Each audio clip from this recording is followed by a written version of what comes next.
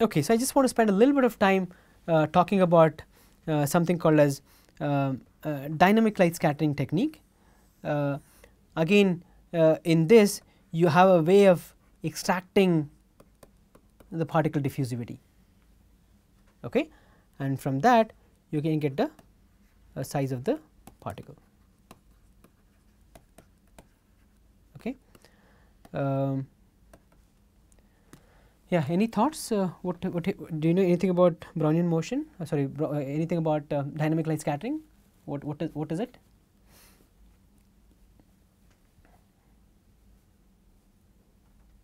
Any basics of scattering? No okay let's okay all of you may, may know this right? What is this? Yeah this is a laser show right? I mean you know uh, very popular right? Um, and why do you get why do you get this uh, fascinating beam of light why do you think you get these things Because of light, uh, I mean the all the lights travel at col- different colors travel at different speed. uh, this is not nothing to do with the color of light know. i don't know if you have gone to any laser show uh, you will see that um they make something right i mean you know if you if you have clean air you won't get this. Yeah right? They, they create some synthetic particles right? Some fog or smoke like thing or something like that right? Only then you see this right? Yes right? So uh, so in that case uh, uh, you can think about you know this uh, liquid in air dispersions okay or particle in air dispersions right? We talked about this right? There are different classification of dispersions. One of the dispersions are you know if you have a dispersed species could be liquid or a solid particle and that's in air right? So in such in something like a laser show your continuous medium is the ambient air and they have created some particles okay which essentially scatter light okay? Now okay so the origin of uh, scattering right? So any kind of scattering okay is due to what is called as a, a localized non uniformities in the sample okay? It becomes clear from the previous example right? If i had only air clean air then you won't see these colors right? So you, you need to have a localized non uniformities okay? In this case what I, what do i mean by that is you should have maybe air with some particles okay? Or liquid some particles right? That's okay? The particles in that case constitute non uniformities in the sample okay? Um, now people use different light sources in experiments okay? You can use a, a visible light okay? Or white light right? Or you can use uh, x rays okay? You can use lasers. You can use neutrons okay? And depending upon the the light source that you use okay? Um, um, the scattering is kind of, kind of attributed to different reasons okay? Uh, if you use visible light okay then the scattering originates from the refractive index variations okay? I have a particle that has some refractive index n1 a fluid medium that has some refractive index n2 okay? Only when you have the refractive index difference is when you will have scattering okay? So now what i mean by that is if i if i want to do a, a dynamic light scattering measurements okay? If you have a fluid which has refractive index n1 if I have dispersed species whose refractive index is very close to that of the medium itself then you can't do scattering experiments okay? The same thing is true for microscopy as well when you're doing microscopy experiments if I have a solution okay, and uh, you can do these experiments. Okay. People do what is called as refractive index matching right. That means th there are some classic videos in YouTube you can look it up. Okay. I have a, a container, I have glass uh, you know this say a beaker right and is a glass slide. Okay. Now, there's when there is nothing in the in the in, in the container because there is enough refractive index difference between uh, the glass and the ambient air which is right you can see the glass rod right. Now, what you do is you put water you can still see, see the glass uh, you know rod because there is a again a refractive index difference between your water and the rod right. Now, if I replace this with you know fluid you know maybe up to this level and you you know and if that fluid has same refractive index the only thing that you will see is what is above okay that immersion immersed portion you won't be able to see okay so therefore depending upon okay in in, in scattering okay the the scattering originates from either the refractive index difference or if you use x-rays uh, what is important is the the the spatial fluctuations in the electron density within the material. Okay that is what gives rise to scattering when you do when you use x-rays. Okay similarly um, uh, in when you use neutrons people talk about what is called as a, a scattering length density difference. Okay so you can read up a little bit about this you know when you when you when you when you go back uh, the idea is there has to be some heterogeneities or non-uniformities, some, some difference in particular properties and that is when you can carry out uh, scattering experiments. Um, so, these are typical wavelengths right. Uh, if you use laser light, uh, typical wavelength of the laser light is about you know it will be in depending upon whether you use blue laser, red laser, okay your wavelength would vary, but typically you can say is about 500 nanometer. If you use X-ray scattering, okay, this wavelength is smaller. Okay. If you use again neutron scattering, again the wavelengths are much smaller. So, depending upon the the wavelength that of the light that people use, that will give you the length scale that you can obtain from scattering measurements. Okay? Uh, and that length scale um, is kind of expressed as some parameter uh, again not important at this point um, which is expressed as nanometer inverse and uh, 2 pi by this parameter okay s will give you the the length scale that you can obtain from the scattering experiments. Okay? Let's think about it okay? So 2 pi uh, divided by is 10 power minus 3 to uh, 4 into 10 power minus 2 right. Therefore, the length scale that I can get from scattering experiment when I use a laser light it is 2 pi into 10 power 3 to 2 pi into uh, or uh, 0.5 pi into 10 power 2 right okay? That is in nanometer. Okay? Now let us do the same thing for uh, uh this one.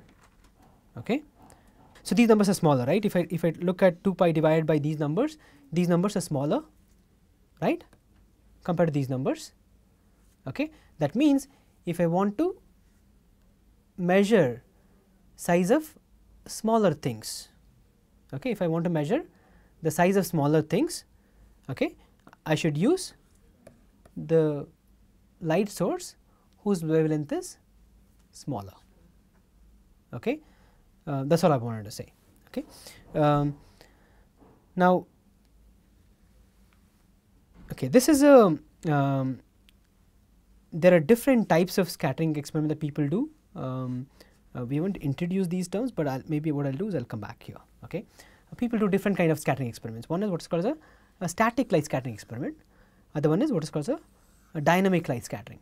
Okay, uh, in static light scattering, what is measured is the time average okay, time average intensity of the scattered light okay, is what is measured. Okay. Uh, a typical experiment looks something like this. You know, I have a a light source, okay, and I have a a sample, and this light beam is incident on the sample, okay, and the local heterogeneities right, or the non uniformities in the sample will make the light deviate or scatter light. And that is actually collected on a screen. Okay. And, and this screen is typically a, a camera. Okay. Uh, what you record is something called as a, a, a pattern like this. Okay. This is what is called as a scattering pattern. Okay. And what you see here is related to what is the, the microstructure of the sample or in the words what is the spatial arrangement of particles in the fluid. Okay. What you are seeing here is a case where particles have formed chain, right. Now, if you have a, a case where the particles have formed chains, you will get a scattering pattern which, which is kind of elongated in a particular direction. Or uh, this is an optical microscopy image okay, where the particles are nicely arranged, right. Everything is a, a hexagonal pattern, right. Right, it's a it's a hexagonal pattern. Now, this is a, a microscopy image okay, by an optical microscope uh, we have taken that converted that into a FFT pattern and what you again see is a hexagonal pattern right? Can you see here? Okay. In a way one way to think about this static light scattering experiment would be I am imaging microstructure but not in the real space in what is called as a Fourier space. Okay that's what that's all that is there. Okay? So therefore in a typical static light scattering experiment what you do is you measure time average intensity of the the scattered light okay and it is uh, measured by by fixing you know your screen or a, or a camera at a particular location okay and depending upon the location of that okay whether I, it's very close to the beam uh, very close to the sample or very far away from the sample, okay, this theta will vary, right. Depending upon the theta, uh, the, you know the variation of the theta, uh, you can essentially um, uh, obtain information about different length scale okay, present in your system. Okay, let me put it at that you know in that way at this point. Okay. Now, yeah, so that is something about um, uh, uh, static light scattering. Okay. In the, the dynamic light scattering, what you do is what you measure is a, a fluctuations in the light in intensity as a function of time is measured. In one case, you measure the a time average intensity that is in static light scattering. In the dynamic light scattering what you measure is a, a fluctuation in the light intensity itself as a function of time. Okay. That is the difference between the static light scattering and the uh, dynamic light scattering. Okay.